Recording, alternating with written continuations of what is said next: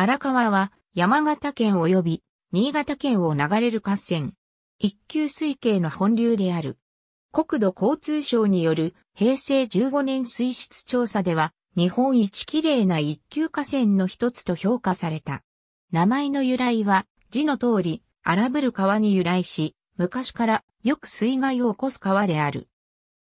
冬の荒川を八口橋から望む大旭岳を源に南西に流れて、小国盆地で流れを西に変え、飯出山地に源を発する横川、玉川などの支流を合わせて、新潟県に入って、大石川、女川、桑江沢川などを合わせ、越後平野の北側を横断して、新潟県体内市で、日本海に注いでいる支流の玉川の源流域が、福島県のへその緒と呼ばれる、福島県北方市に属す飯出山の登山道を含むため、荒川水系としては、福島県も流域に含んでいる。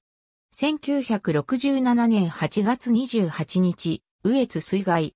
荒川水系では、大石川が決壊し、新潟県関川村で死者、行方不明者34名、流出、全壊家屋371棟の被害。荒川は、急流河川でもあることから、水力発電所がいくつか建設されている。